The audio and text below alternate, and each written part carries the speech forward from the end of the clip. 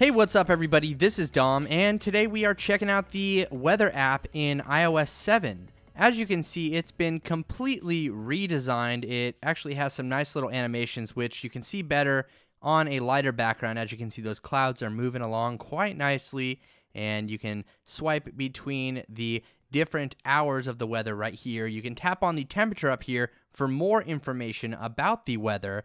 And like I said, you can swipe to different cities. Each city has an animation based on its current weather status. So as you can see there, they are changing depending on the location. You can see the nice little rain coming down here in Tokyo. It's just beautiful animations, beautiful backgrounds here inside of the weather app. I'm very impressed with the layout. And so let's go ahead and check out how to add cities here. If you tap on the I button at the bottom, you have this nice little kind of card layout or row layout here. And if you want to delete a city, just swipe over to the left and you can delete it just like that. To add a city at the bottom here, you have this little plus sign.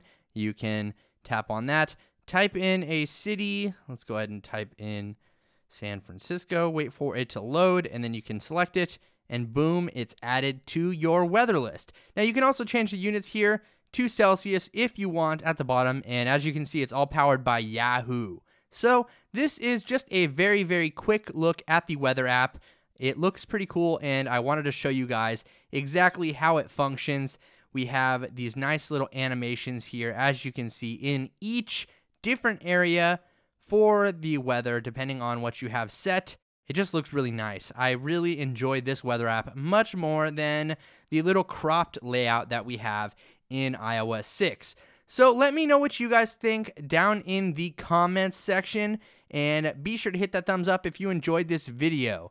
Thanks again for watching everybody. This is Dom and have a great day.